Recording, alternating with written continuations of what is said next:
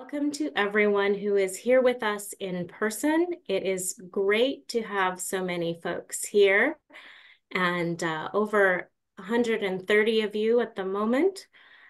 And uh, it is great to know that some will be watching later. Quite a few people asked me for this recording. So thank you for allowing that, Colleen, and to everyone here. And um, I did a land acknowledgement at the beginning, and I um, thank you to all of those who put their land acknowledgements in the chat as well. I'm going to turn to an introduction of our guest speaker, and, um, and then when that is complete, we will turn off the chat for the duration of her speaking and turn it back on at the end so that you can input questions. Um, So I'm going to be brief with this. You've come to hear about the 60 Scoop Network and the In Our Own Words Mapping the 60 Scoop Diaspora Project. I'll only give a very short introduction. Colleen Hele Cardinal is co-founder and executive director uh, of the National Indigenous Survivors of Child Welfare Network. And Colleen, I flagged this to, but I, in our 15 minutes, didn't get it asked whether that name has officially changed or just colloquially changed to the 60 Scoop Network. So um, I'll let you uh, refer to that. And um, Colleen is an author and award-winning trailblazer in community building and advocacy work and says in a written bio, um, most importantly, she's the proud mother of four grown children and loves spending time with her grandchildren. Colleen, we are so glad to have you here. Um, thank you for agreeing to speak with us, and we look forward to your stories and your sharing. Well, Trina Brett, thank you for the wonderful introduction. I am absolutely blown away I love reading all the land acknowledgements. I am very touched that people have really put thought into acknowledging the territory that they're they're they're joining tonight from. I I am also from Treaty Six uh, territory, but I live and and thrive in Anishinaabe territory here on unceded, unsurrendered Algonquin territory in Ottawa. I'm the best here. So, um, geez, I have quite a bit to tell you tonight. I I usually speak for about an hour and a half, um, but let's see if we can get through this uh, without going over an hour and have some time left for questions. Um, if you have questions throughout the presentation tonight, just write them down, and then at the end we can we can um, try and answer them as best as I can. I, you know, I speak from lived experience, and then the collaborative work my colleague Elaine Kicknosway and I have done in um, working with 60 Scoop survivors over the past, gosh, it's been since 2014 that we really started doing this work uh, across the country with survivors. And I've probably met thousands now of folks like myself. So I'm going to share my screen uh, so you can see the presentations that I have. Um, and I just wanted to let you know that, you know, the what I speak about is is mainly from lived experience, from working with survivors and listening to their stories and their experiences. And I want to to let you know that um, you may hear things that make you uncomfortable. And I really encourage you to sit with that and really examine what is it that makes you uncomfortable that you're hearing? Was it because you've never heard that before? Or it challenges everything that you know about Canada. So um, let's see if I can do this. Oh, I just want to thank you for all joining me. This is amazing. I really enjoy doing presentations. It's something that I, I, I do full time. Um, I deliver training across Canada, anti-racism training, and a lot of um, 60 scoop training on how to work with survivors, what you need to know about survivors, and so on. So I'm going to switch to my presentation. Hopefully it works. Uh, no, this one. Okay, does it work? It does work. Okay, now I need this. All right, so uh, welcome. Thank you for joining tonight. I am the, the co-founder of the 60 Scoop Network. It was formerly, it legally is known as the National Indigenous Survivors of Child Welfare Network. That's our legal, our legal name uh, for our corporation but we are known as the 60 Scoop Network, and we are uh, a nonprofit. Um, we started as grassroots in 2014, just really working with the skills we had collectively and hosting gatherings for 60 Scoop survivors who were looking to meet other survivors, but also learning how to heal, reclaim our culture, and build community with each other. So uh, we've had a couple of logos, but this is our official logo. And for us, it's the strawberries are uh, um, they're healing. They're um, they're a very important berry that we use in our ceremonies. And then of course this, the the star cloak in the back is part of our star teachings. So that's our official logo. Now this is uh, if you haven't uh, read my book and you're wanting to learn a little bit more about my story, I have a book on Fernwood Press that you can order. Um, you know, I started writing this book and I actually didn't intend to publish it. I actually had to get everything out of my head. And I was working at AFN, uh, the Assembly First Nations, as a receptionist. And I was, I had been burnt out a little bit from working in addictions and mental health. So I took a job that was non-stressful. Basically, I would just answer the phone and say, hello, Assembly of First Nations. And while I was doing this, I was writing every day the experiences I had of growing up in my adoptive household. Um, and sooner or later, I had over 200 pages. And what I just one day I printed it all out and I put it away for a couple of years. I was gonna burn it in like a ceremony and just get rid of it, everything, but I shared it with a colleague of mine um, and a friend, Raven Sinclair, and she said, You need to publish this. This can be published as a standalone book. So I, you know, it wasn't done. I had only written about the bad stuff that happened in my life. So people wanted to know how did you get to where you are now? Like what what you're doing now? Like you went from doing all this really hard stuff of abuse and trauma and living with that to, you know, doing the work that I'm doing now. So I had to write about that. And it was harder actually than writing about the bad stuff. Anyways, you can find this book at Fernwood Press if you're interested. Um, I need to pay homage to the people that I started this work with. Uh, my colleague, Ray, uh, I'm sorry, my colleague Elaine Kicknosway is on um, the end in the blue sweater, and she's still my colleague. We do this work together. And a friend of ours, Beverly uh, McIver, she's a 60 scoop survivor, and our late friend Leslie Parlane, who passed away in 2018. We began this work together. We sat at a Tim Hortons restaurant and said, Hey, how come there's nobody doing 60 scoop gatherings? How come there's nothing for us? Why aren't people talking about us? Why don't people care? And we said, Well, we have no money, so we have to raise our own money. And that's what we did. We started fundraising through grassroots initiatives and asking unions for help, asking non-Indigenous folks to support the work we did. And lo and behold, we started doing uh, gatherings. So uh, the other driving force and what led me to do this work was my sister, my late sister. I have an older sister that was adopted along with my other sister. All three of us were adopted together. And she, uh, sadly, she was murdered in 1990 and um, we had just reunited with our, our birth family in Edmonton. And, you know, she was like a mother to me. And I, I really greatly admired her. She was a mother herself.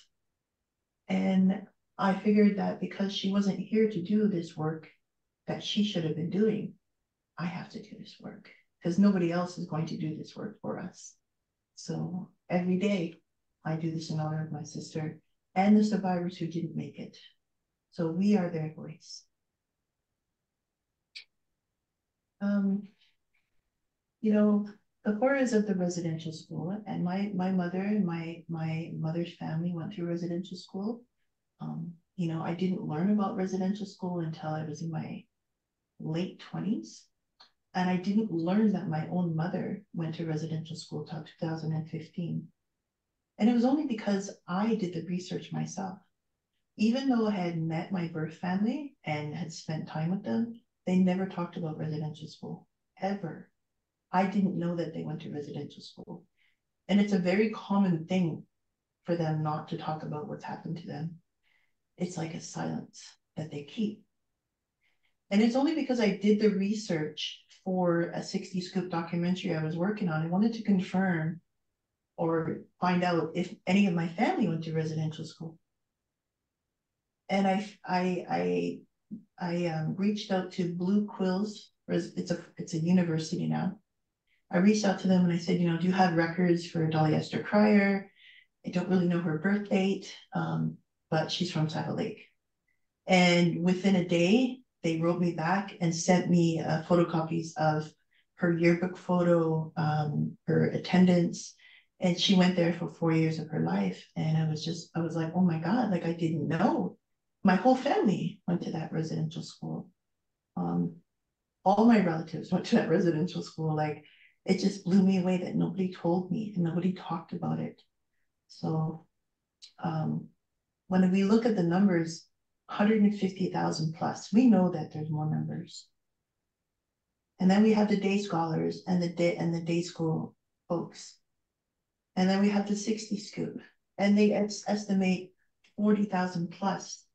But that doesn't include all the people that weren't documented or weren't acknowledged because it wasn't recorded officially that they were indigenous. Um, our, our, even though like our records can be um, manipulated, um, we believe that the, the numbers are higher for the 60 scoop survivors. And then of course now we have the Millennium Scoop and current child welfare crisis. So those are very high numbers and you can see how you know, it just gets bigger and bigger and bigger, and how that cycle of child welfare and intergenerational trauma just continues to go. So we want to stop that. We as 60 Scoop survivors, you know, some of us are still really struggling, but for me, the goal is to stop that continuation of our children being in foster care and and being adopted. The difference is um, between residential school, day schools, and the 60 Scoop the residential schools are very visible, right? So um, you can see on, on, the, on the diagram, there's little red dots, and those are all the residential schools in Canada. And in Alberta, there's like, there's tremendous amount. Um, you can see them. And the children, they all went to them collectively. So they were brought there by force to these schools. And they kind of, even though the girls and the boys were separated, they still kind of got to see each other. They got to see other brown children like themselves um, it was visible. It was, you know, something tangible, right? Whereas the 60 scoop is not like that at all. A lot of the children were taken from their homes, their communities, from hospitals and, and whatever, and they were taken and plucked and dropped in non-indigenous environments, sometimes thousands and thousands of miles away. A lot of the taking was done behind closed doors. Uh, child welfare would take them, put them in receiving homes or foster homes, and then they were aggressively, um, aggressively, uh, what do you call that, uh, solicited through. Um, sorry about that. My, my somebody's in the background. I hope you didn't hear that. Um, they were aggressively uh, solicited through newspaper ads, and I'll get into that after, and raised in isolation from other Indigenous folks. So it was very difficult for a lot of people like myself, a lot of children, to see visible brown people like us. We actually grew up immersed and submersed into non-Indigenous um, households uh, where everybody around us was non-Indigenous, our classmates, our family, the whole community. And it was rare to actually see brown people unless it was on TV or, you know, there was, you know, somebody who had brown skin in your class we were islands to ourselves. So we were raised to be individualist and not to have a community mind, to be successful, to do things, to to just a real island to ourselves. And a lot of us are still like that today. Um, if we don't unlearn that behavior and to be assimilate, to assimilate and to be individuals instead of to grow together as a community. So you can see the difficulties already um, and, and the differences in residential, the residential school survivors experience and the survivors who were taken away through adoption and foster care, and, and in some cases like to different um, countries. Um, we created a mapping project, and I'm sure that you maybe you've explored it. Um, and you know, when I first started like doing this work, I I thought, you know, as an adoption and as, as an adopted person, that I was quite unique. I used to brag and tell people I was adopted and I was raised by white people, and I was really proud of it, you know, because I grew up in a household where I was told that I wasn't like the other Indians or I was better than everybody else, or just very uh, racist and derogatory, discriminatory language. And what I learned afterwards and what drove me to create a mapping project was the fact that the Canadian state literally deliberately trafficked us through child welfare policies. And we talk about human trafficking, we don't think of it, we only think of it as like it used for uh, sexual exploitation or um, you know, I consider human trafficking even the, the fact that, you know, we bring labor in to pick all our vegetables. I consider that human trafficking too. But human trafficking involves the use of force, fraud, and coercion for the purpose of exploitation and profit. In Canada, child welfare policies similarly involved organizing, recruitment, transportation, transferring, and holding of Indigenous children and youth under forcefulness, deceptiveness, and coercive conditions in order to generate profit and consolidate power for the state.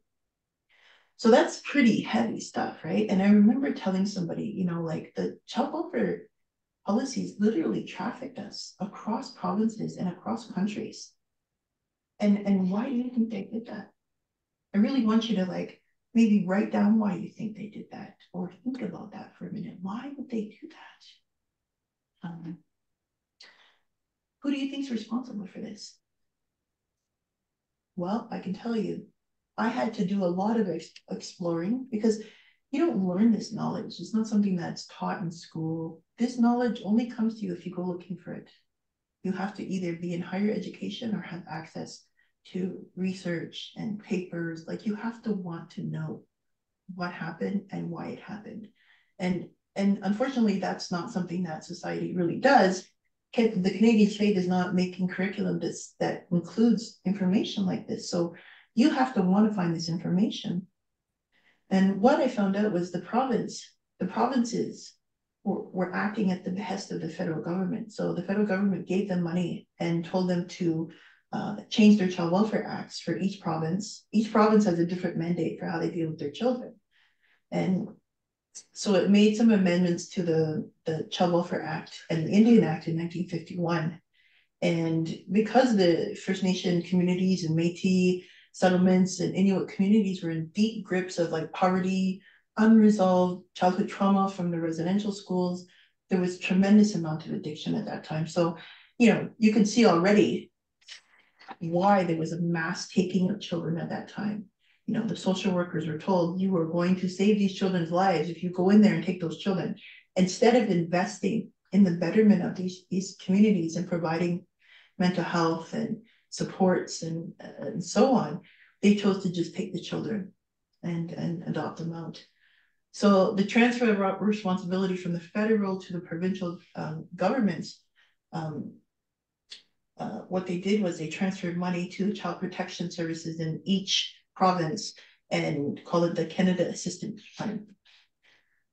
So they designated funds to the provinces under the guise of the well-being of Indigenous children and Ottawa guaranteed payment for each child apprehended. Children were taken to the United States with private American uh, agencies giving five to ten thousand dollars per children to folks who couldn't afford children because there was minimal screen and there was also minimal screening and monitoring of foster care and adopted parents. Many of these children were transracially adopted within Canada, and others were sold to the United States and overseas. At the height of the 60 scoop, one in four status Indians were separated from his or her parent for all or part of their childhood. And for non-status and Métis children, one of three spent part of their childhood as a legal ward of the state. Residential school and day schools failed at assimilation Most former students did not embrace Euro-Canadian identity and the child welfare policies that followed after residential school were closing meant many so social workers believed they were actually saving Indigenous children. Indigenous culture and spirituality were not taken into consideration for foster care and adoption. It was assumed that ch the children would take on the heritage and culture of the foster adopted parents. So, you know, typically when I do this kind of presentations, it's a little bit more interactive, interactive, where I ask the audience, like, what do you think was going on internationally and nationally at this time in the media and, and for Canadians? Um, were you aware that this was happening? Did you know? Um, I, I, I would love to know if you if somebody wants to ask answer after my presentation of did you know about this? Did you know this was happening? So you're going to see some some articles here. Maybe some of you remember these. These are uh, the ways that they solicited Indigenous children through the media. And at the time, they were using uh, Today's Child, uh, which were um, an uh, what do you call it? Um, a newspaper ad um, that was that Helen Allen took. Um, Helen Allen was the person who started the Today's Child column in the Toronto Star and the um, what was the other one? The Toronto something. Um, it was a Toronto newspaper, anyways. There was two of them. She won the Order of Canada for um, adopting out over 10,000 hard to place children. And these included Indigenous children, and hard to place children. So people, uh, children with physical disabilities or intellectual disabilities. And she won the Order of Canada twice. Anyways, um, so these ads would run in the newspapers across Canada and uh, people could adopt the children. Like you would see like a puppy or a cat up for adoption. Instead, it was Indigenous children or children with disabilities. Um, there was also catalogs of children kind of like photo albums of children who were up for adoption. And that's how my sisters and I were adopted. We had a, a photo of us standing together, and that's how my sisters and I were adopted. Uh, I don't know the process of exactly how that happened. I've never seen the photo album, but I know they exist because researchers have seen them. And they're very, um, they're kept in, in secrecy. Uh, it's almost like they don't want to give them up. There are, uh, there are uh, adopt people, people who have adopted children and have talked about the experience of how they picked that child out uh, from these catalogs. So one thing that maybe folks here don't know that um, there used to be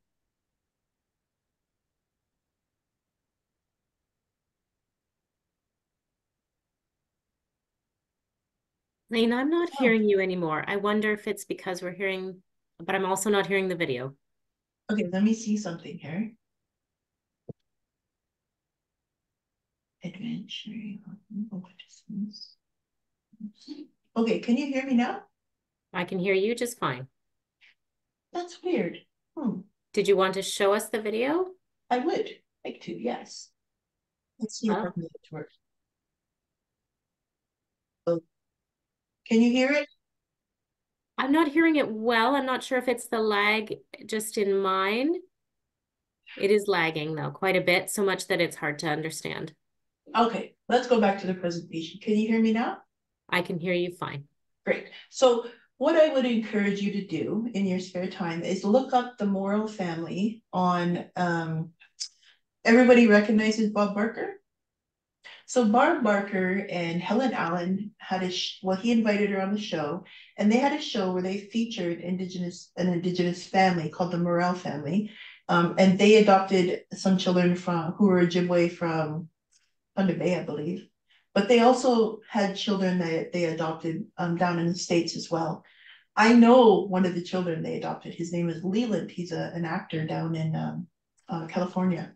I met with him and he talked about his experiences growing up in this family. Um, and it wasn't a good family. But I mean, the other thing that happened was I, my sisters and I were featured on um, the 700 Club, I believe, is the Canadian version of the 100 Huntley Street.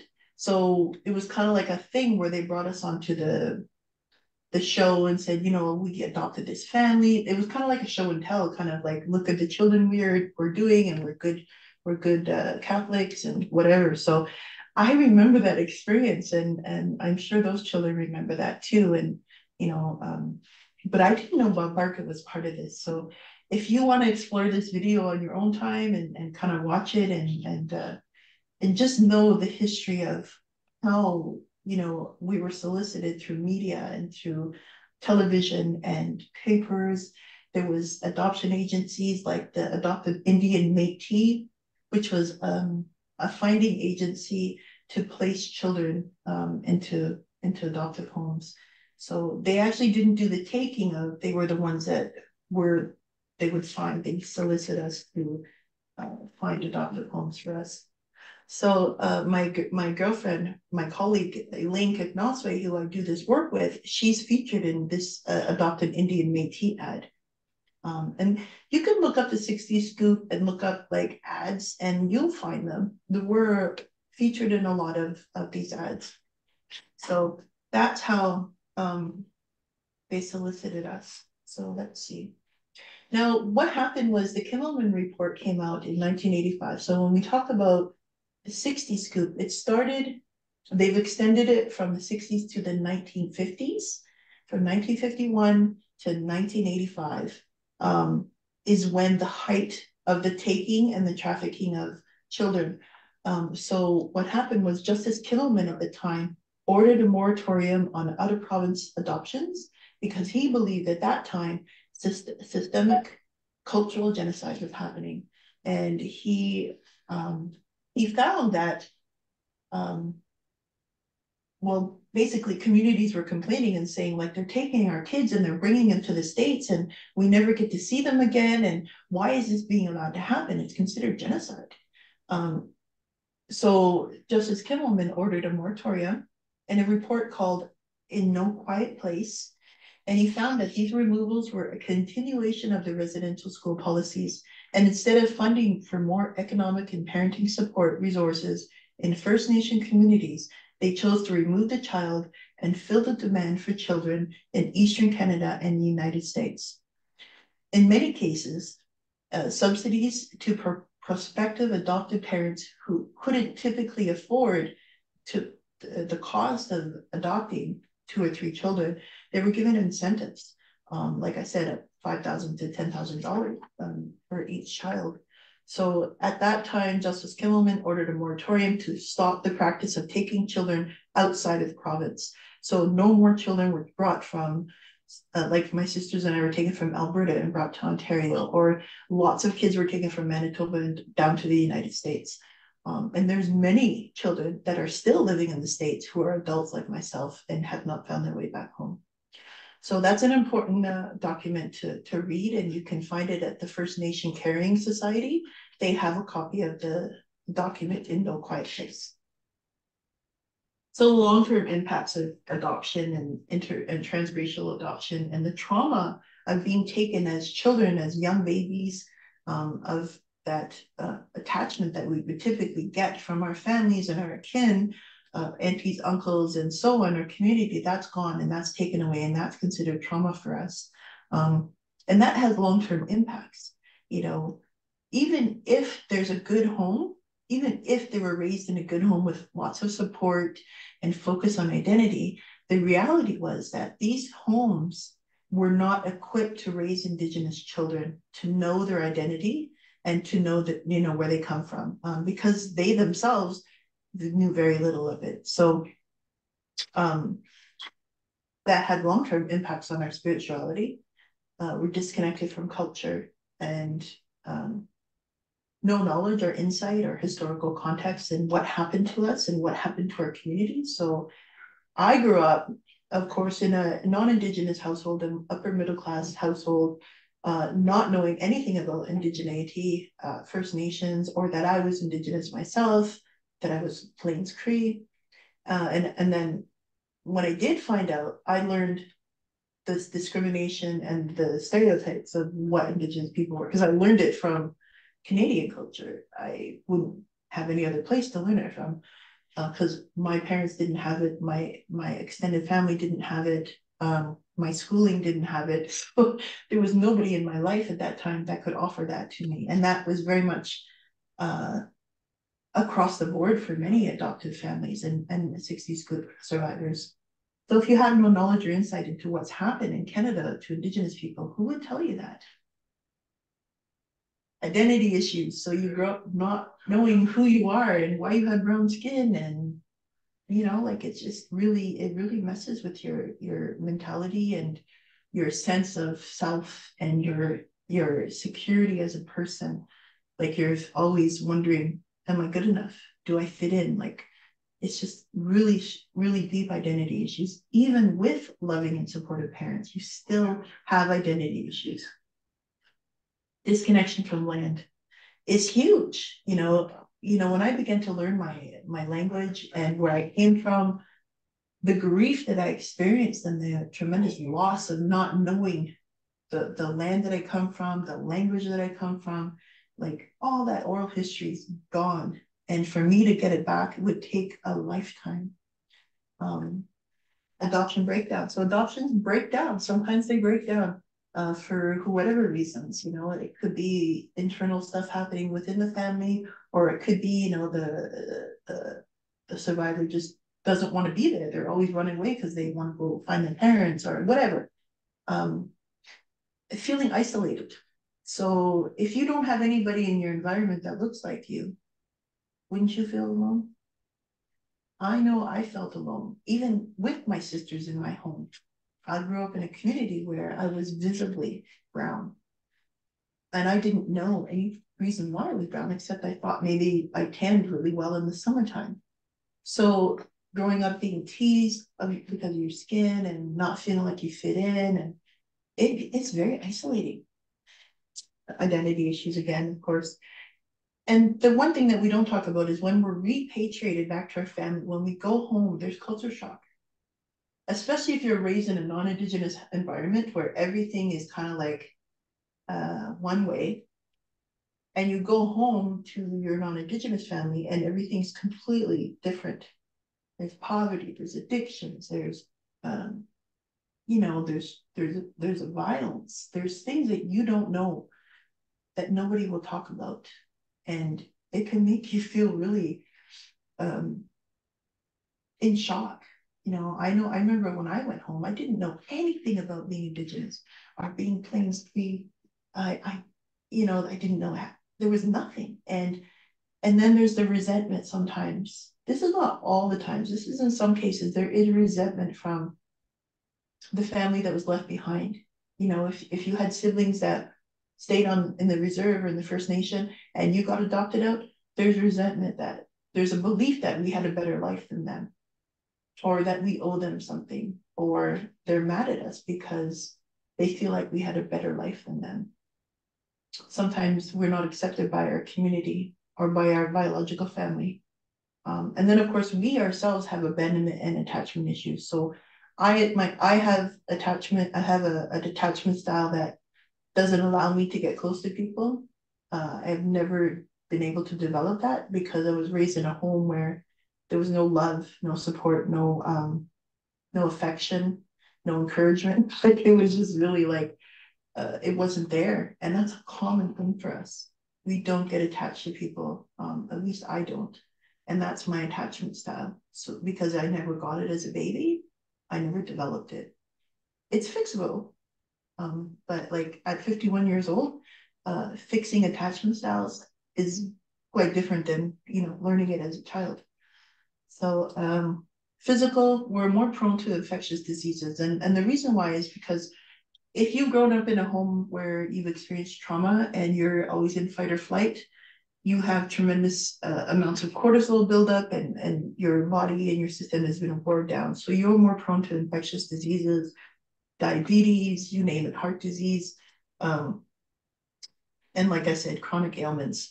Uh, diabetes, high blood pressure are common, um, PTSD and complex PTSD. And, and sometimes that's undiagnosed. So there's a lot of us who are not aware that we're we're being triggered, our bodies are in states of being triggered, and we're responding with aggression, with rage, with these um, these fight or flight reactions, and un, un, and are unaware of it. And what's happening is we're being um, met with consequences, of course, right? But when you think about uh, somebody who's been triggered, like for me, loud noises, um, I, I have I have complex PTSD, so for years and years, I was living with being triggered. So if somebody set down a cut really, really hard, like that it would startle me. And my body doesn't know the difference of if I'm in danger or not. It just responds that there's a danger. So then I'm in my fight mode and I get rushes of cortisol and adrenaline and I'm ready to fight or I'm ready to run. Imagine living like that every day, all day without knowing why. You just are seen as somebody who's angry and somebody who's rage and who's violent and aggressive. This is us. So um, I finally was able to go to a doctor and get help, but it was my kids that told me, Mom, you're you when you're going off and you're raging, you're scary. And I really had to like think about it. Like I am pretty feeling pretty out of control. So these are some things that I talk about with folks about like what it's like to live with unresolved trauma. Mental health, you know, not being able to like understand like internalized racism. So I grew up internalizing racism. Um, once I learned I was First Nation, I learned all the the stereotypes. I internalized that, and I actually did not like being Indigenous. I did not want to be Indigenous. I used to dye my hair blonde it never came out blonde. It was always just like kind of really yucky orange, but I wanted so bad to have blonde hair and blue eyes because I wanted to fit in. And I internalized racism that I believed that I was bad too because my skin was brown and that, um, you know, everything I learned about and like being native at that time was bad. That we were drunks, that we're bums, that we were homeless, like just all the bad stuff. And you know, the, what sucks is that when I repatriated with my family at 16, that's what I seen was my whole family were living on the streets and self-medicating with alcohol and, and solvents. So it just reinforced that internalized racism for me. It took a lot of work to undo that, right? You have to want to undo that. Same with like examining systemic racism and institutionalized racism for, for indigenous folks. Like it's everywhere for us. It's at every level. Um, you know, like some people take for granted that they can just shop without being followed or have good experiences at the hospital. But these are things I don't take for granted anymore. It actually, until I experience it, I forget that I'm brown. You know, so that's how that's how um, assimilation works, right? It actually changes your brain, and you forget who you are. Um, mental health, unresolved trauma from childhood trauma, and then caught between two worlds, not feeling like we fit in. So we don't feel like we fit in with our adoptive family. We don't feel like we fit in with our biological families. Where do we fit in? And that's all in your mind, right? And we call it um, another thing we call it is imposter syndrome. So sometimes when I'm around Indigenous folks, I don't feel like I fit in. I feel like everybody knows that I was raised in a white family and that I'm not really Indian, which sounds ridiculous, right? But this is how it was for me when I was younger. I was a, I was scared to go to powwows. I was scared to be around indigenous people because I thought they would see right through me and know, oh, she's not really indigenous, which sounds ridiculous because I obviously look very indigenous, right? But um, they can tell when you're not raised on a in a community. And, you know, when I go home to my community, people ask, who are you? Who's your parents? Who's your kokum? And I have to say, I, I know who they are, but they're like, oh, okay, I didn't know they had, uh, had a kid. Or where have you been? Like, how come you haven't been around? And, you know, so it's a lot of me explaining where I've been and what happened to me. So, so growing up in a non-Indigenous household, here's some uh, pictures I put in of um, Elaine and myself. So Elaine is on the left-hand side right here. And uh, this is her adoptive parents. This is her adoption photo. This is mine. And Elaine was actually taken to um, Africa, Botswana, Africa. She was, uh, her parents were missionaries. So she was raised um, and she traveled all over the place and they spent time in Botswana. So that's her on the ostrich. kind cute. But, you know, so we were we were raised in um, a lot of us were raised in upper middle class um, households. Um, we had a lot of opportunities as children, which sounds wonderful. You know, I I participated in every single sport, and we excelled in every single sport that you could think of. Uh, we were very strong. We were very fast. Um, as you can see in my kindergarten photo here, you can see me in the bottom there, in the in the, the big chubby one with the yellow dress. Uh, all my classmates are pretty much white, right? And um, I didn't know I was any different. I just knew I was chubby, that's all. But um, you know, we had uh some of our households were good, like, but like you didn't realize that you, you were First Nations. All you knew was that you were a child. And as a young person, an adult, I believed my experiences were very unique for somebody to grow up in a in a non-indigenous I grew up in a Catholic household. I grew up with knowing all my sacraments and not understanding them at all.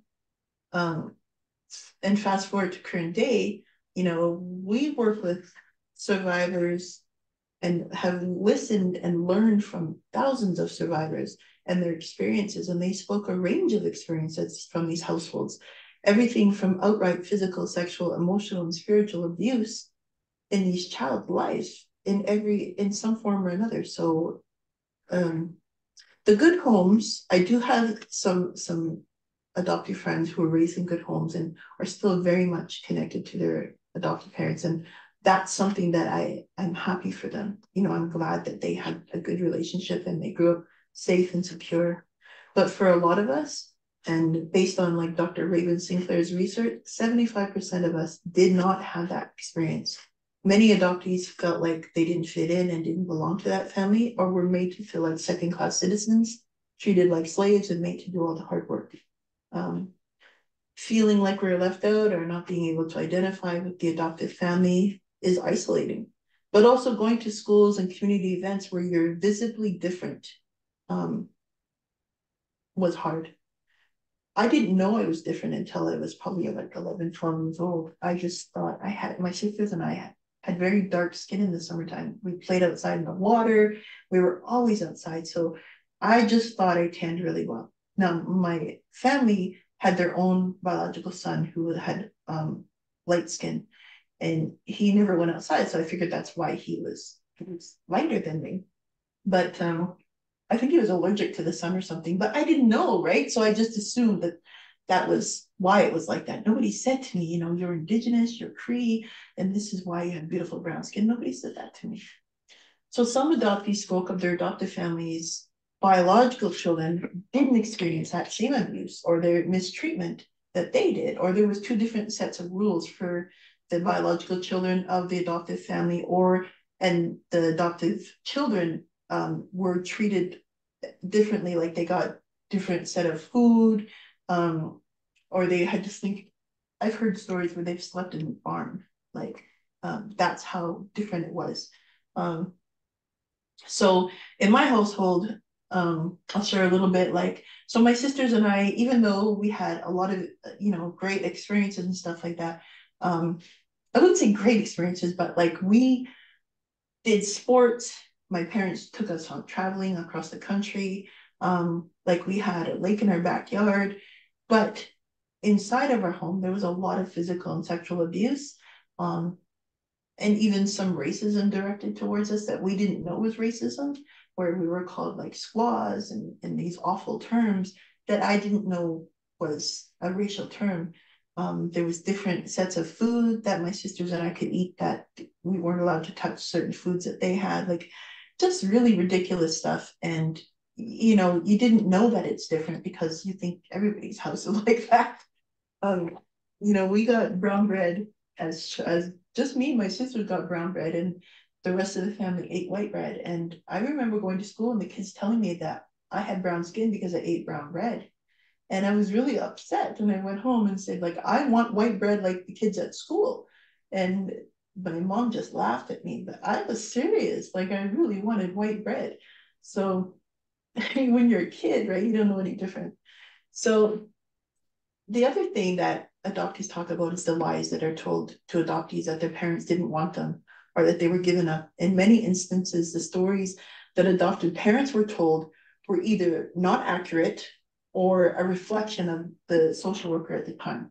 Um, and sometimes in some cases, you know, parents were manipulated into surrendering their children and told them that this was the best thing for them. So um, what happens is when we reconnect with our families and we say, hey, what happened? How come like you gave me up for adoption whatever? And they tell us like, well, you know, I was told that you'd have a better life and this and that. So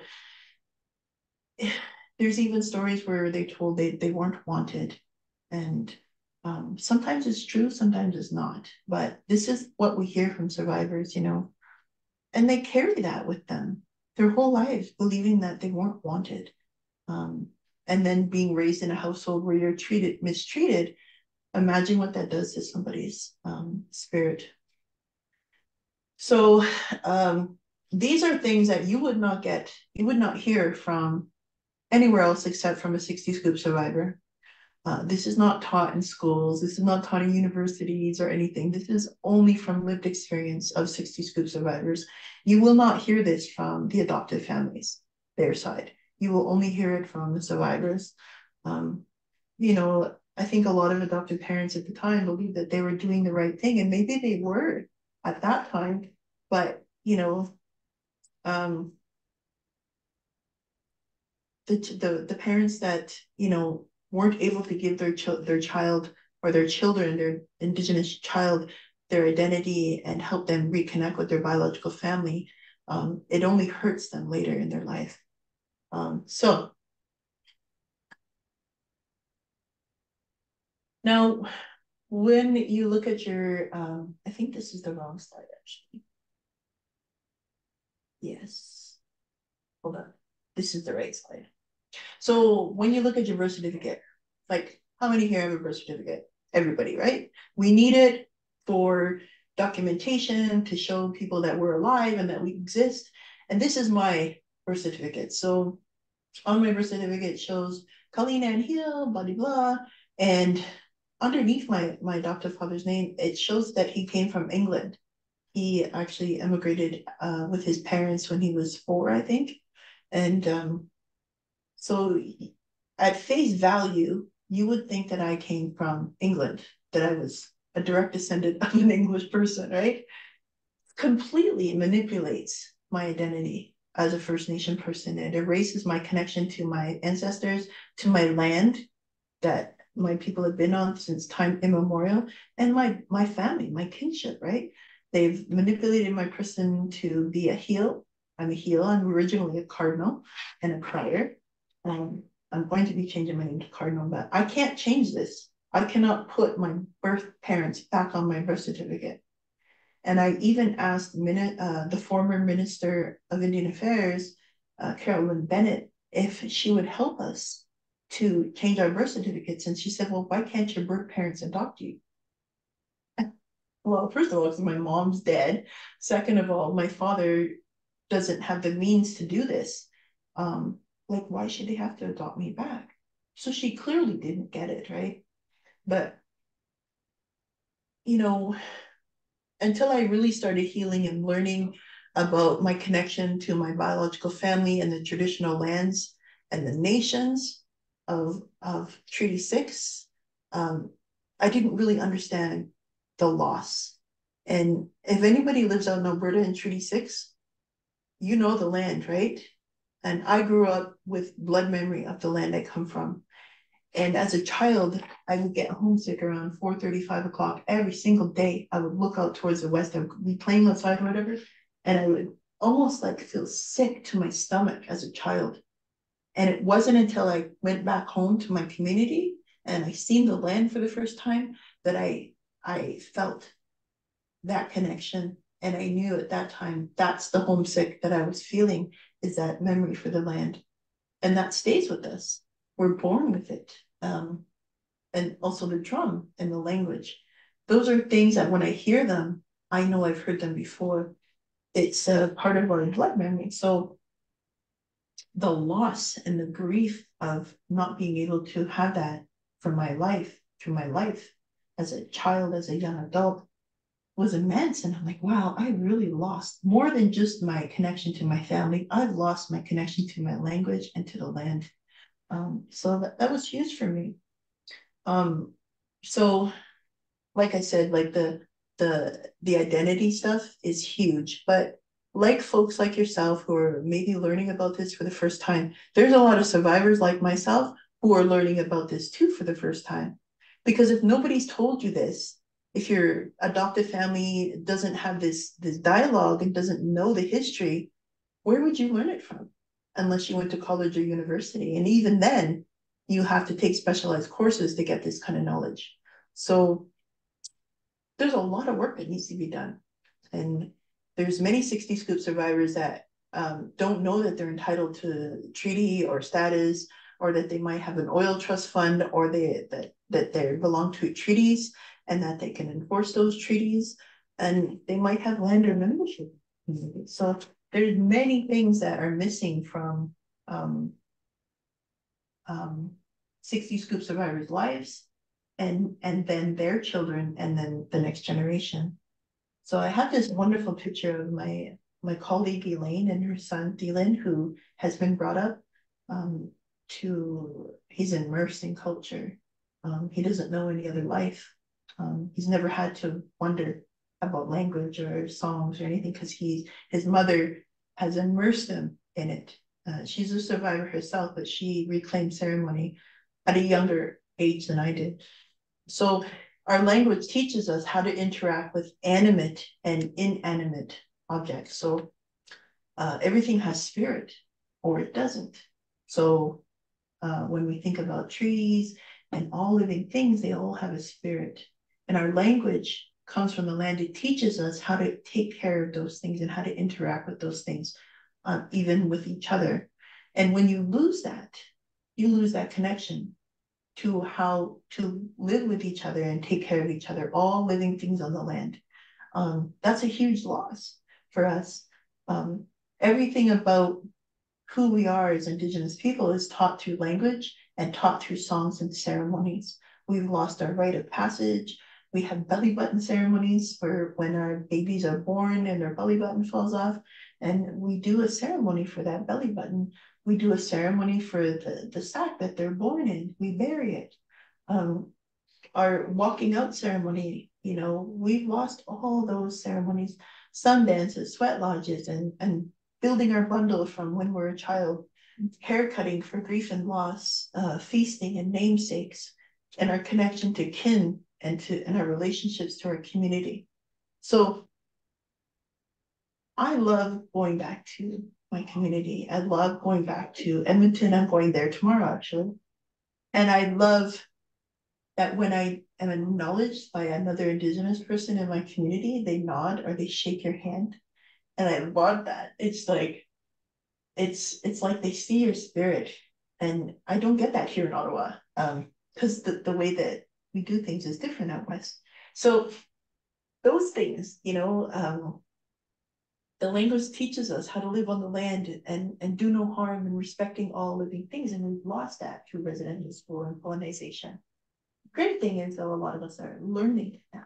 We're picking it up. Um, the youth are making tremendous strides in um, returning to culture and land. So I've already seen that one. Um, so the thing that we don't talk about in our communities is the impact that it had on our immediate families, like our biological ones, in our communities and things that we don't talk about why we're not talking about it. You know, I didn't get a grand ceremony when I went home at 16. Actually, nobody acknowledged me when I went home. I had a private private meeting with my my biological mother.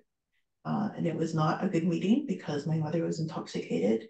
And nobody was, you know, on my shoulder saying, So your mother went to residential school and she experienced this amount of harm and then you guys were taken away from her. So she copes by drinking and, and using solvents. There was nobody on my shoulder saying that.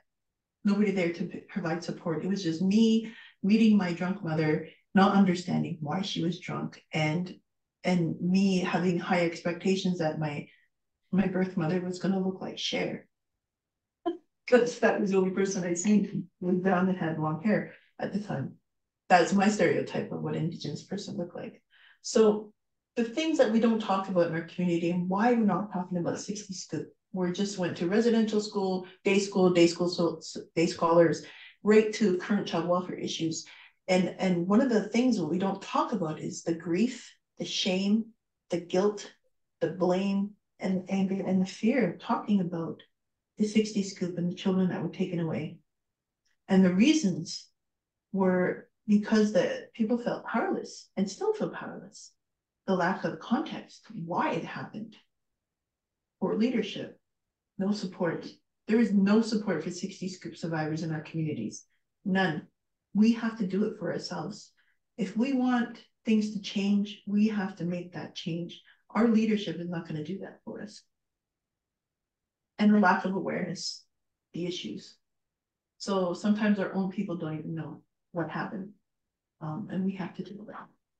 So I call it the elephant in the room because we know it's there, but our communities aren't talking about it. So, um, what, what how are we for time? We're good. Um, we are at the hour. Wow. One thing I'd like to share is the that we, you know, a bunch of us got together and we started doing this this work here, and we do it in ceremony. We went to um, an Algonquin elder here, Claudette Commanda, and asked her for permission and support to do this work. And she gave us the name Jiwin, which means to come home to yourself. Home is not a physical location, it is a feeling, it is coming home to yourself. Um, we recognize the need to gather and have a collective space for 60 scoop survivors to feel validated, to be heard and learn in a safe environment. At that time in 2014, nobody was doing this work. There are little small groups across Canada right now, but there still needs to be more. There's a huge lack of awareness uh, in Indigenous and non-Indigenous organizations and even our own communities. And we fundraise. I am going to send out this. Um, oh, I just want to say our biggest supporters are non-Indigenous communities themselves. Um, and we've had a lot of support from unions and um, lots of activists. Um, so thank you for for listening and supporting the work you do. I'm not done. I'm just saying thank you. um, I just want to show you some of the pictures from the gatherings we've had since 2014. And we've had land-based gatherings uh, in ceremony. Um, we, we do blanketing and blanketing ceremonies to welcome survivors to the larger uh, connection of survivors across the country. People come from all over Canada, the United States, and even as far as New Zealand and Spain to attend our gatherings. Um, this was uh, this was the year that we had uh, six tornadoes in Ottawa. Um, it happened at the time of the gathering. It was wild. Um, and then, of course, there's a mapping project. So who here is aware of the mapping project? Yeah. Um, so what I'd like to do is share that. Let me know if you can see it still. Yeah. So there's a search tool. So folks, uh, survivors who are looking for other survivors or family members can search and see if they're family member. This is a participatory map. So in order for um, to be found, you actually have to like have a profile and have like your your story on there. So the way the map works is by the more and more survivors add their their profiles and so on, the larger the map grows. So we've added um, the option of like um, sharing it to Twitter and to Facebook, so you can share your own story and to connect. So some survivors say that they can be con contacted on their profile, and uh, um, I don't know if you listened to some of the stories that are on there, uh, but there some are. Some of us did. Yeah. Okay. So uh, we, I just noticed that somebody else has added their own story on the, like people can upload their own story through YouTube. Um, so this is the, so far the people that have interacted with the map. Um, and in order for the map to grow, we need more survivors to be aware of it and to learn it. So this is what the, the the map looks like for displacement um, of children who were taken out of the country. Um, and a lot were taken to Europe. Uh, one person was taken, well, that was Elaine that was taken to Botswana. And then another person who was taken to um, New Zealand. Um, up here in the visualization, uh, tab, you can actually like see where they were taken from and where they were taken to. So Alberta, folks were taken to British Columbia, Nova Scotia, Quebec, and so on. Um, it's really cool to have it visualized like this, but also shows by year. So obviously nobody was taken in uh, 494. Most of them were taken in uh, in 1962 1969. Like you'll see um, the interaction. So, so far, this is who we have on the map. And then you can actually look at the, the stories. Um, there's the red YouTube thing that shows um, uh, their story. Um, so it's really cool to like um, look at their story, talk, they, they can share as little or as much as they want. And if you want to contact them, you can. So it's it's a tool for us. It's a platform to show so uh, show the world what happened to us. It's a platform for survivors to find biological members, uh, family members, and it's a it's a platform for us to share what's happened to us as for as little as much as they want to. Um, and then the other thing, so people have seen that one. Uh, we're also working with uh, DNA uh, detectives, genetic detectives, who were at one time um, sending out DNA kits and then helping family members find their biological family if they had biological family members in the database. So this can go back as far as like, so uh, I know that these folks here reached out to me and said, you know, they're looking to identify somebody who was a woman who was found murdered in California and their DNA connected to my DNA. Um, so we had a common ancestor from Maskwacis. Um, and they were able to find her family, but it was just amazing what DNA can do. So we were pretty um, pretty adamant that this was not about refuting or denying indigenous indigenous uh, identity. That this was more about finding your biological members. So that's something that you can find on our website as well. Uh, here's this, the, the folks that were featured in our stories. Uh, Daniel is from Spain, but he's originally from Saskatchewan. Um, Sandra um, is in Alberta, and Lou was from Tuktoyaktuk, and he was raised in Edmonton. James is from a Métis from Alberta, and he was raised in Minnesota. Barbara was um, taken from Manitoba and raised in um, Pennsylvania, I believe. Um, and it's interesting to talk with them because some, their stories are very different. And in some ways, they're the same. But their experiences are different and they have accents, which is wild to you know be visibly indigenous and have an english accent or uh, an american accent um, but be from you know a first nation in canada. Kim wheeler is a cbc um, correspondent and she she does a lot of writing. She's kind of like a celebrity. So i was very happy that she took she she took part in the project. Um, and then we did our Kinstallation, which is a, star blanket with photos that are uh, ironed on to a star quilt. And we're still in the process of figuring out what, how we're going to deal with this project because we want it to be featured and to show the children who were taken uh, through the 60s scoop. Right now, I'm delivering training through uh, trauma-informed training that includes learning about the 60s scoop and anti-Indigenous racism.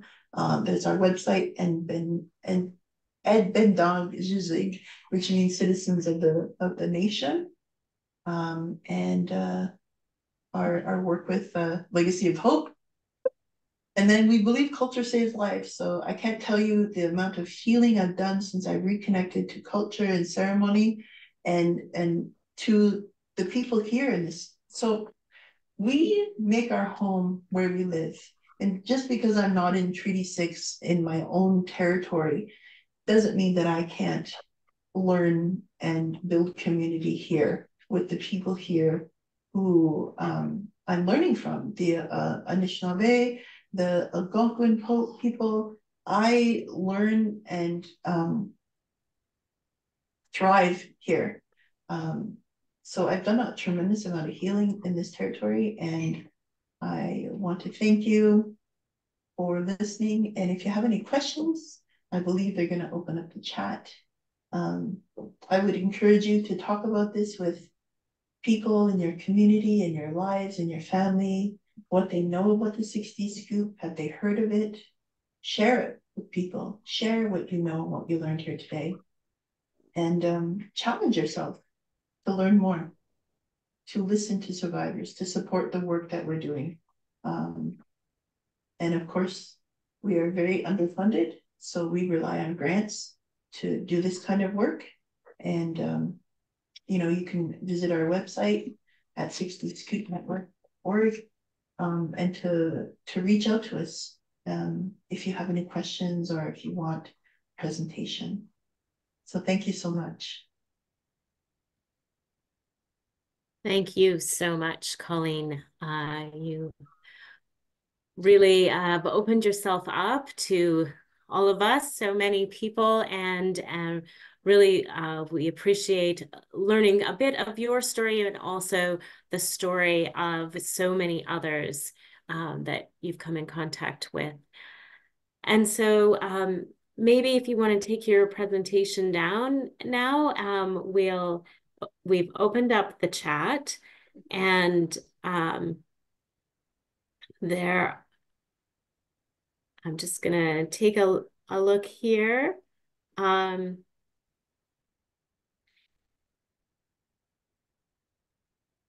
Jillian McLeod says she has a short story to share. Maybe if you want to keep it very, very short, we'll take that um, comment for a minute uh, while others are thinking of their questions for Colleen. All right, thank you. In 1974, my family lived in northern Manitoba, and it was the Vietnamese boat people time of life. And my parents decided to adopt some of the Vietnamese children. And when they went to the social workers to do that, the social workers said, Well, no, you could just adopt Indigenous kids from Manitoba. And so we received two, a boy and a girl. Before it was finalized, we were transferred because my dad was in the RCMP to Nelson, BC. And we were told in BC, Indigenous were not allowed in non Indigenous families. And before that was finalized, we were transferred to Richmond, BC. And again, it was finalized there, but because of the rules and the laws, the children were, and some other reasons that Colleen did mention, um, the children were removed from our family and sent to Pennsylvania, where they were 100 kilometer, 100 miles from one brother and 100 miles the other way from two sisters. And thanks to Facebook, I made contact with my sister. And um, we're friends on Facebook now, and they have made they've reconnected with their family in Manitoba, and I introduced her to the 60 scoop money that was happening with the federal government, and she's received her money now, and so life does happen, and yes, it's just a pleasure and a and a real privilege to learn from Colleen. Thank you. Thank you for sharing. That's encouraging. I'm glad that you were able to connect them with your 60s Scoop settlement because uh, there's many people, many survivors who were left out of that because they yes. didn't because they lived out of the country. So thank you. And I'm glad you were connected with them.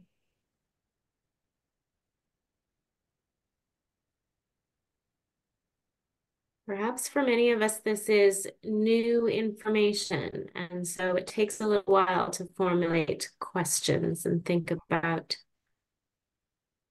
what what is there anything that you would want to hear more about that would help you to be able to share it with others in your family and your community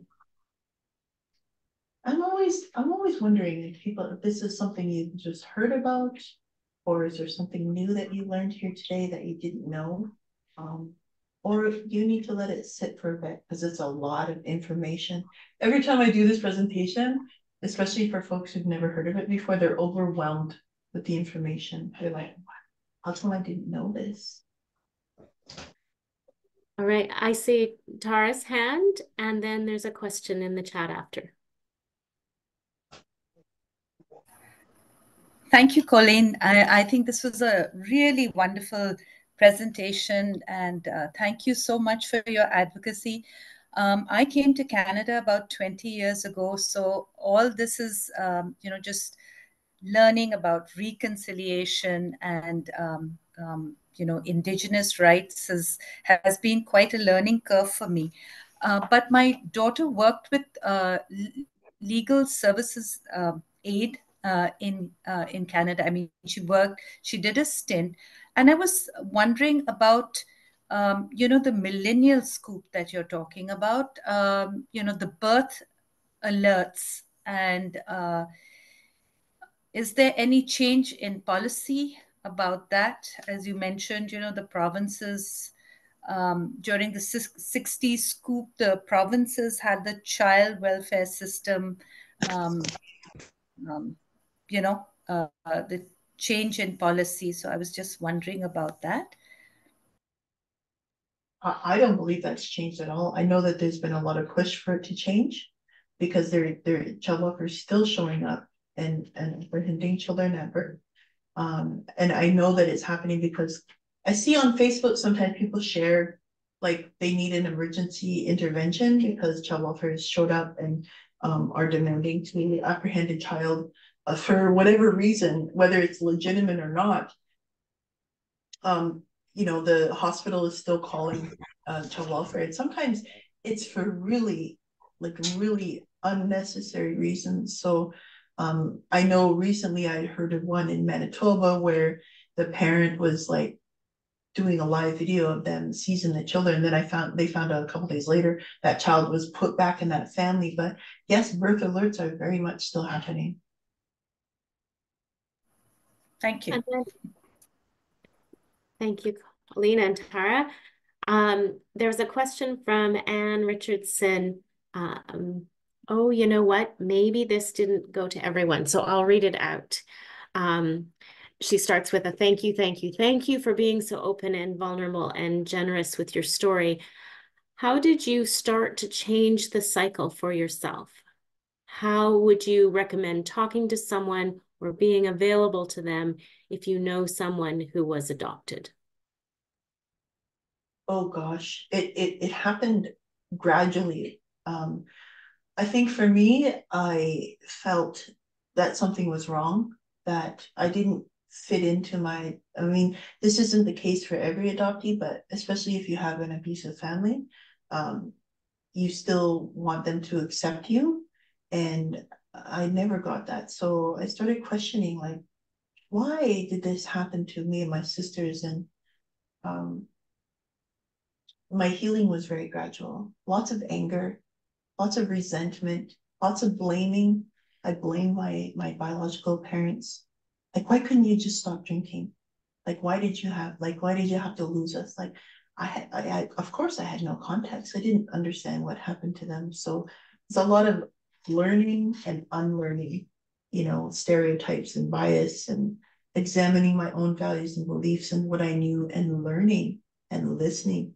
It took a long time. It's taken since, gosh, I didn't even learn about culture till I went to college when I was 29 years old.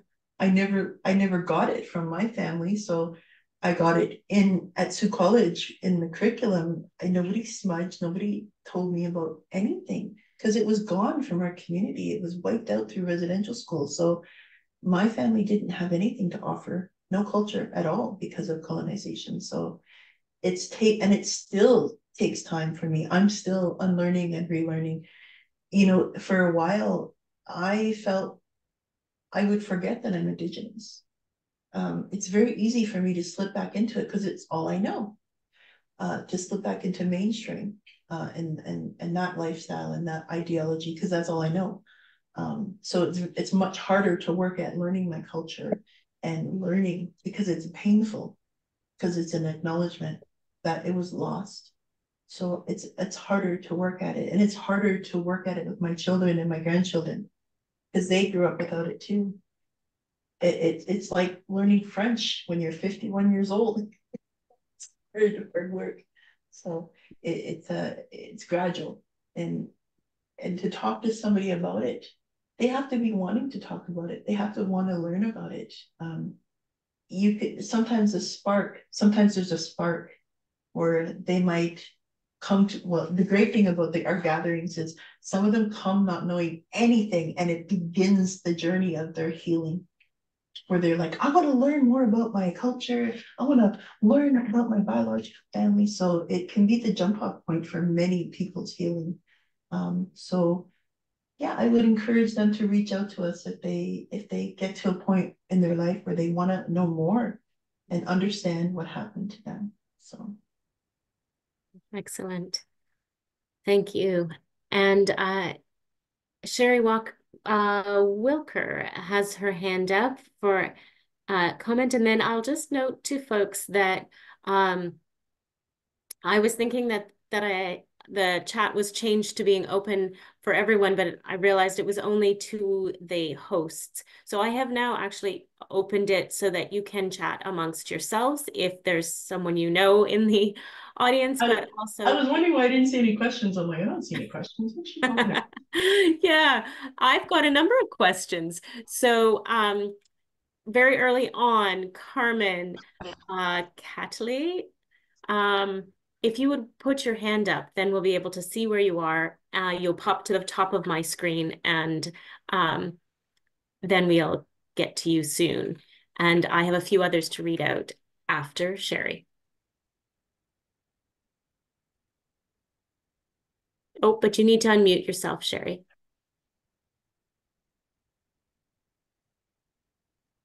There we are. Okay. Thanks very much for for um, uh, telling your story, Colleen. Um, in I was married. Well, first of all, um, my great grandmother was born um, at Six Nations in uh, Ontario, and um, she married a white man, so she had to um, she had to uh, move out of the reservation, and um, so my grandfather was raised as white, and um, um, when uh, I was married in '62, um, I shortly after I I had two children by by the time I was it was 1965 and uh, I kept seeing these ads in the paper about these poor orphan children whose uh, um, parents gave them up or whose parents weren't weren't capable of raising them because of uh, um, alcoholism and so forth. And uh, so I talked to my husband uh, about um, uh, adopting because we we already had two children, so uh, we'd be happy to to have another one. And um, uh, I put it off. I was a registered nurse, and I was working full time, and my husband was working full time, and life happened, and time went on, and and eventually, then there was the the uh, Vietnam War, and uh, uh, we ended up taking um, a Vietnamese refugee who was 16 years old, and and of course our children were were about that age at that time, so that worked out. Uh, she was with us for two years and and went on and got a job and then got married. And she still calls me mom. Um, and her children call me grandma. And um, but I've always felt guilty about having not uh, uh, adopted a, um, an indigenous child because I felt I felt it was my duty, and especially because my great grandmother was born at Six Nations, and I was um, part indigenous myself, um, uh, and and I've I've kept that guilt until uh, I've learned more lately. I've just learned more in the last two or three years about uh, how how bad it was because I didn't know any of the culture. I was raised white, just the same as my my mother and my grandfather were. So I I just wanted to to mention that, um, um, and uh, the the guilt has kept with me. I'm I'm 82 years old now, and the guilt has stayed with me for for so long that uh, when I was 78, I went to the University of Waterloo um, and um, took a course in in um, speaking Mohawk. Um, but I didn't do very well with it because I was too old to, to change. That's what I have to say. Thanks for listening. Thank you. Thank you for understanding and, and sharing that. Uh, yeah, it's, uh, I want to learn Cree so bad, but it's complicated, right? It's a complicated language. So, you know, I do a little bit what I can. Um, but, um, you know, when you're busy and life gets away on you, it's hard to like just pick up another language, right? So, yeah, thanks for sharing. Thanks, Sherry. And um, there, I'm seeing all the chats, and there's lots of thank yous here uh, that are directed to you, Colleen, and some questions. Um, are records in provinces now mostly open for people to search for their bi biological family? Yes. The problem is any identifying information is redacted. So it's still not a very good process, you know. Um, any identifying information to do with our siblings or our parents is redacted, and redacted means in big black lines in it. And we don't have access to it. So there are survivors that still don't know who their parents are. And some of the ways that we find out who our parents are are really uh, innovative. I was fortunate enough that when I was, um, I think it was 12 when my mother, you know, basically told me I was native, but also gave me a sheet of paper that had something from Indian Affairs that said, Colleen Ann Hele, so and so is from Saddle Lake, and and put my parents' names on there. So I had my dad's name, which was Richard Paul Cardinal, and my my mom was Dolly Esther Cryer. Um, and that's how I was registered. Um, I couldn't get it until I turned 18, but that's how I got my parents' names. I don't know how other people don't have that, but if you're not registered, I guess when you're a child, like a baby, my parents registered me um, because they were married when I was born. So, um, but other folks, um, if their adoptive father or their biological father is not on their birth certificate, sometimes they didn't put the biological father on the birth certificate. It was left off on purpose. Um, but like their mother's name could be redacted from all their child welfare files too. So it's still a really not good process. And I believe Quebec is still kind of like um, one of those provinces where it's hard to get child welfare information. Um, I, I've received my child welfare file from CAS in Sault Ste. Marie, and uh, all my stuff is redacted. And there's very little stuff written about me, um, which tells me that they didn't take good records. My sisters and I were adopted in 1975, but I was born in 1972, uh, November 15, 1972, and I was apprehended at the end of December of the same year. And there's very little in my file about me as a baby and me as a child until I was adopted in 1975. Because I spent two, three years in foster care and nothing was written about me. So that's not good. Yeah the files are just not maintained properly, or if it was, and I've heard from survivors that there's information there about, you know, the homes that they've been through and some of the abuses they experienced and they're moved around to different places. Um, even identifying information about social workers or uh, anybody who was involved in the taking of, their maintaining of, was blacked out. So it's still a really awful process for people. Hmm. I could argue both ways though, right? So in some cases, it protects the, the biological family too from being contacted, right? Because there are parents that did give their children up and do not want contact again. So in some ways it protects the the the person who's doing the the surrendering in it, but it also impedes those adoptees from finding who they're related to and finding out health information and so on. Well, Colleen, I want to thank you again. We're we're coming to the end of our our time here now, and I just want to give you one last moment if you wanted to remind people about how they can be supportive to you and and the network and um, and other folks who might be part of the 60 Scoop. So when folks ask me, how can they help me? Well, I'll say things like, how can you help me? What's, what's your skills? Um, are you connected to people? Can you push for um, a, an inquiry? How come there hasn't been an inquiry into this, these practices of child welfare, of taking children and placing them out of country? That's a huge thing. That's a, that's as actually an act of genocide in the International Criminal Court. Um, but it's almost like because they did our settlement and they completely like like washed their hands of it. Um, we need support and we need more awareness. So please, if you can uh, raise awareness and use your your your skills and your power and your privilege, if you have it, ask ask the ask your what are they called the MPPs and so on. Why aren't you doing anything about this? How come we're not they're not getting an apology, a national apology? How come you know um, there's not an inquiry into why this happened? Where are all these children?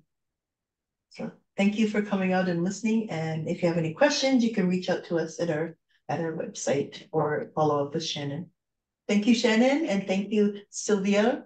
Uh, is it Sylvia? That was uh, uh, oh yeah, Sylvia, Sylvia was our tech support, and uh, um, I wanted to let you know, folks, very briefly that um, this was originally planned as a leadership seminar. There's a group of volunteers from across Canada who are Kairos contacts in various cities and in various regions, and they meet monthly for learning opportunities and inspiration. And um, if you are interested in taking a bigger role in Kairos, you could contact me. My email was the one that sent you your registration confirmations. But also, if you have questions that didn't get answered tonight um, or want to have have some sort of contact that is uh, beyond the website, you can reach out there as well. And so uh, we will be sending the recording um, to everyone by email, and I'll drop a few links in that as well. So once again, I just want to say thank you very much to Colleen and to all of you for coming. Have Thank a good you. night, everyone. Have a good night. Take care. Bye.